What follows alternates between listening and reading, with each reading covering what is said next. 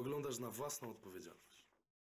Muszę przyznać, że jak zacząłem Trypsona na początku, to zbudził we mnie takie wątpliwości, niepewność. Jest postawnym mężczyzną, z tribalem na ręce.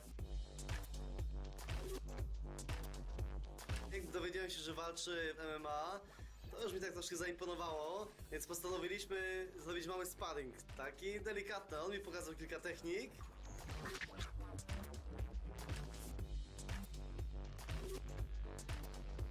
Tymson podszedł do całej zabawy troszkę serio. Myślę, że chciał tutaj pokazać swoją wyższość, swoją siłę i to, że się faktycznie nigdy nie poddaje.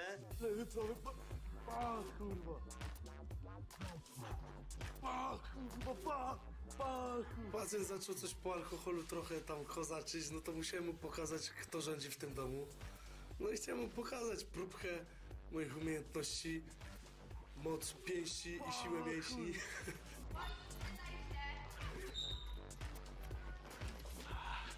Wiemy. Dobrze. Tam się troszkę poblokowałem. Zaskoczył mnie dobrze.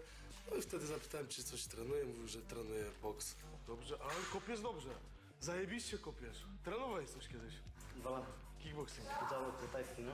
Widać, widać, bo kopiesz dobrze, kopiesz centralnie w czwórogłowy mięśnia. To już widzi, ja kopię, przy pierwszym kopie to założyłem. Dobrze w chuj. Kopnij jeszcze raz teraz.